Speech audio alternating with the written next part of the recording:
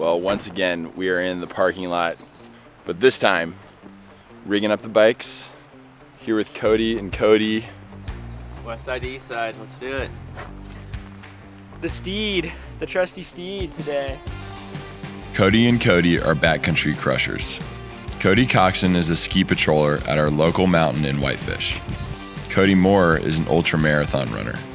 They are total badasses, and we've been on some pretty rad lines in the past together. Ready to see the sickest side slipping you've ever seen? On this mission, we're loading up our bikes to embark on a 37 mile journey into Glacier National Park. We will bike as far as the plowed road will take us, then skin up and over the east side of the Continental Divide to ride two different glaciers.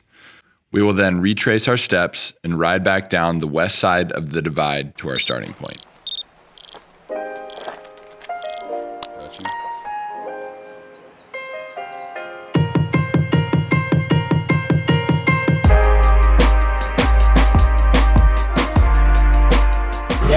Talbot Canyon looks gnarly right now. Yeah, I love when it gets like all the like the hoarfrost and rime left on the summits here.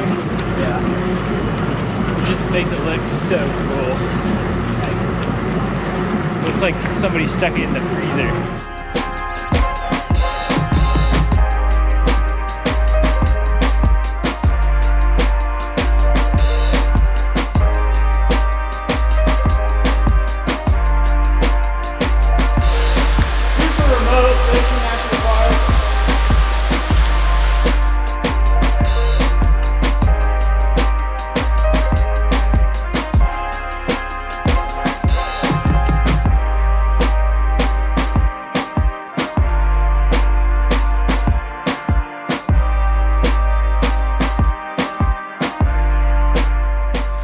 Putting on the skins and skis here. Start our journey upwards into the mountains. Well, we started out on snow, which is kind of nice. A lot better than dirt.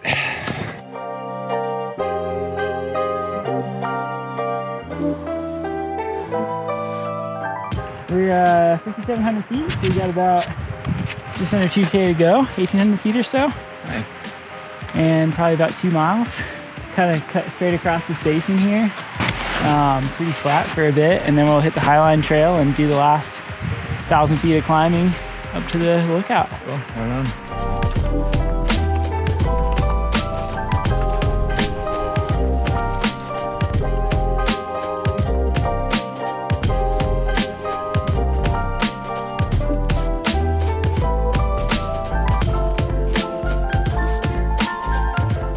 Now we're just booting our way up to the saddle, and then we're gonna drop down the other side, ski the glacier, then come back up and over the saddle, and then back down to the bikes way down there.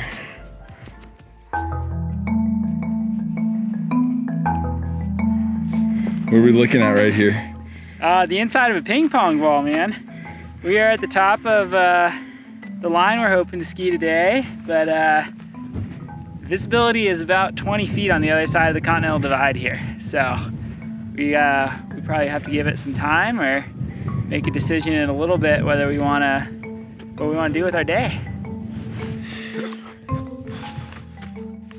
Well, we've been here for over half an hour waiting for this fog to roll out so we can see where we're actually going to be riding. S- Very variable. We're getting little spots here and there, but still looking quite foggy. Just going to continue to wait it out and hopefully get our window. Well, there's ski, there's ski turns into this. Is that what this is right here? Yeah. It looks like. Well, poor visibility. The first pitch looks uh, pretty manageable with what we got, so we're gonna go ahead and ski it. And uh, the next pitch down, if it doesn't look open, we won't do it. But if the visibility is good, we'll uh, probably do some more skiing down low. Well, we have made the decision to drop in. One at a time. Visibility is about zero chairs based on the Whitefish Mountain Resort scale. All work, no play. Let's do it. All work, no play model company.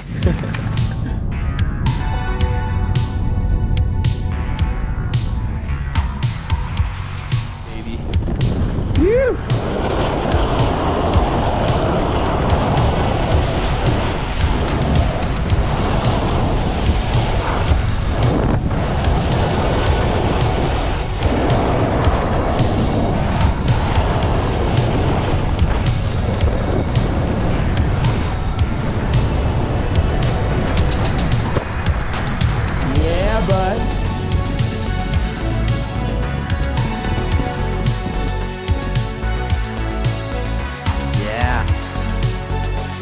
This is so chill.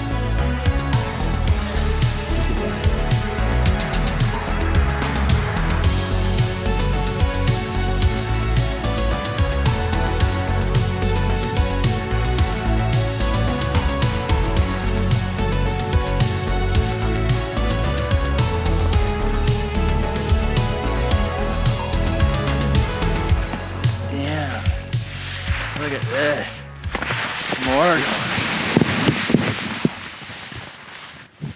This is wild. Another planet out here. Yeah, look at that sun burning it up. Well, fun while it lasts today. Well, we took the gamble and it worked out really well because now we're down here on the glacier. Things are starting to warm up, so we're gonna make a quick transition and head back up to the ridge and shred back down to the bikes.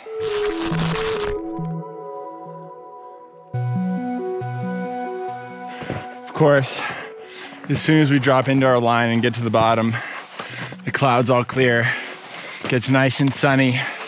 We didn't even see the top of the run that was about a ping pong ball five minutes ago.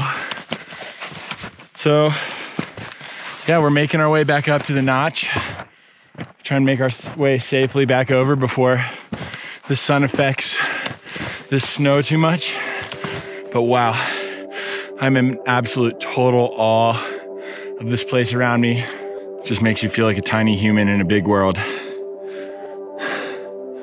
The scale of these mountains is mind boggling. These sheer cliffs, glaciers. A whole nother world. Feels like we went over that saddle and entered a portal into a different dimension. Unreal.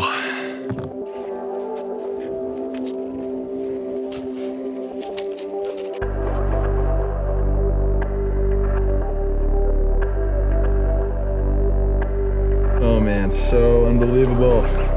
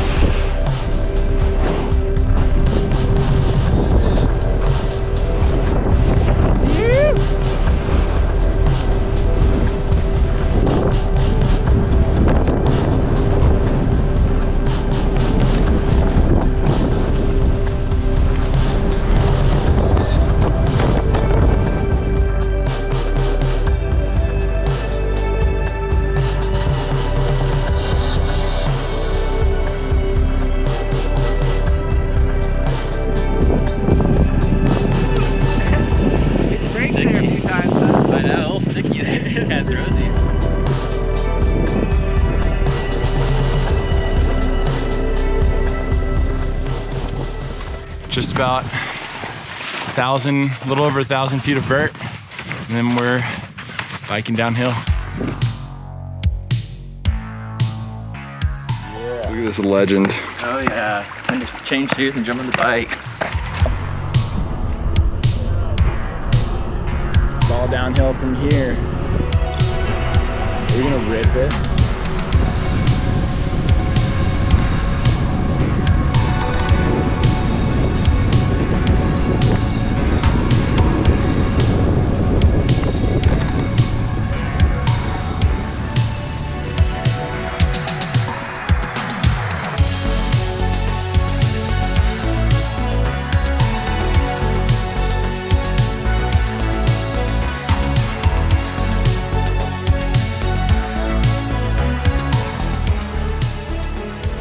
These are the kinds of adventures that solidify my passion for getting outside. Biking, sliding on snow, spending time with good people, and experiencing an amazing place like Glacier National Park made this a memorable day. Crossing over the Continental Divide using our own power was just the icing on the cake.